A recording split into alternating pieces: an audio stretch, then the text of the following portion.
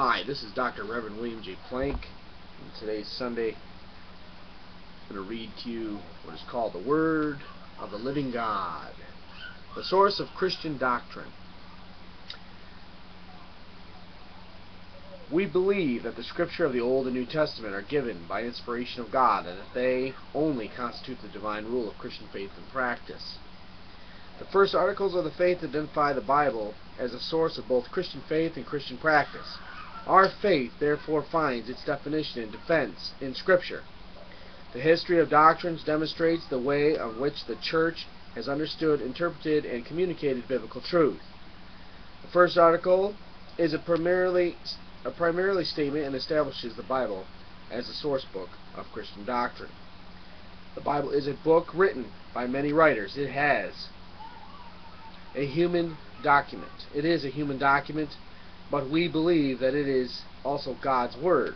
1 Thessalonians 2.13 It carries God's authority, is the revealer of truth, and the guide for Christian living. 2 Timothy 3.16 verse 17 In its page we encounter the living God of history, and from its teachings we learn to live in a relationship with Him.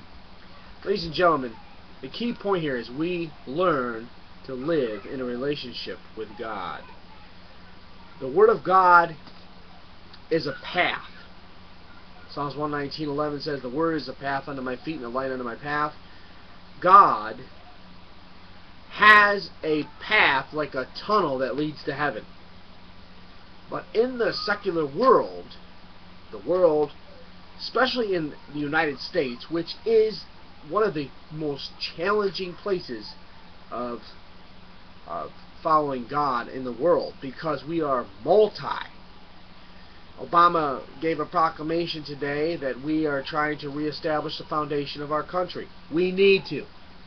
We need to. The First Amendment does not give you the freedom to do anything you want. People misinterpret the First Amendment.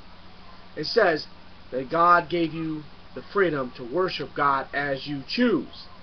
If you're choosing to worship God, then you automatically know that God is only one faith, one truth, one church.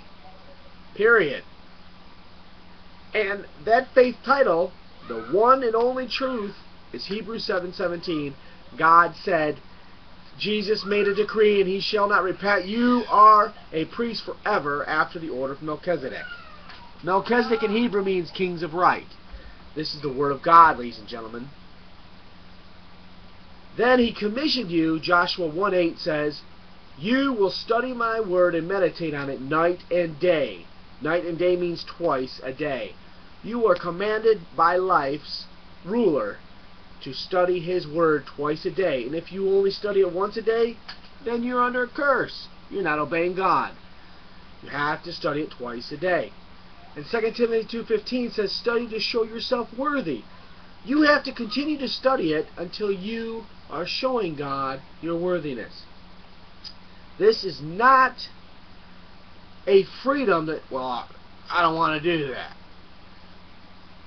There's only heaven and hell.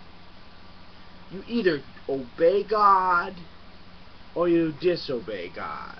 Ezekiel chapter 33, 1 through 10 will show you that when the watchman, which I am a watchman, I'm telling you what I'm seeing here in the Word and the Spirit. When God comes to the watchman and tells the watchman, Watchman, show them what you see. If I don't show you what I see, then God's going to punish me. Read it, Ezekiel 33, 1 through 10. But if I show you and then you don't obey what I show you, the punishment goes on you and not me. This is the Word of God. The secular world and the mortal world teaches all kinds of crazy things are going on. We are one mind. In the first chapter of Isaiah, you will see that the mind, according to the Word of God, the prophet Isaiah said, You people have failed me. Your people have rejected me, and therefore your mind is ill. When God is speaking of the mind, He's talking about the whole planet Earth is the church. The whole planet Earth is the church. The whole planet Earth is one brain that has to heal, which means the whole multitude of people have to think alike. One mind operating the whole body. But in this First Amendment, people have distortedly disobeyed God and have distorted it. Well, I could be a Muslim and I can be um, I could be a Jehovah's Witness, and I could be this, and I could be that. Listen, people, every single religion is designed to point you to Jesus. Yeshua, Yahweh, everything is designed to bring you to the one mind. If you're if you're studying something and you're practicing something that's not doing that, then you are not in conjunction with your government. And the God who created us said, You are commanded to obey the law of the land. The law of the land is supposed to also be in subjection to the church, pointing you to Jesus. And until we can get that figured out, until we can get everyone to do this, there's going to be chaos and crime. Crime is caused by um, an impurity of the mind and the heart. When all people are thinking alike, then what seems to be a crime no longer exists because everyone's doing what everyone else is thinking.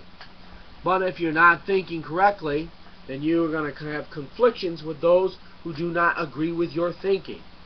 This is the Word of God. Christ said we are to be of one mind, one faith, one church. That means every government is to also be in subjection to the Ten Commandments.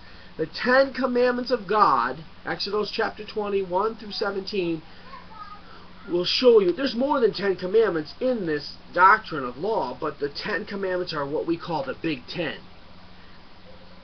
Every single mind in Jesus has to be in subjection to those Ten Commandments, not only now, but forever for all eternity. The Word of God is eternal, and people people say, well, when I die, I'm going to be sucking margaritas and laying around on a cloud. That's not so. Six days you labor, seventh day you rest forever. If the Word of God is eternal and will go on forever and ever and ever, then you will be obeying it in the same way you are now forever and ever and ever and ever. Your work ethics may be adjusted, but you will still be laboring forever and ever and ever. This is the Word of God. Thank you.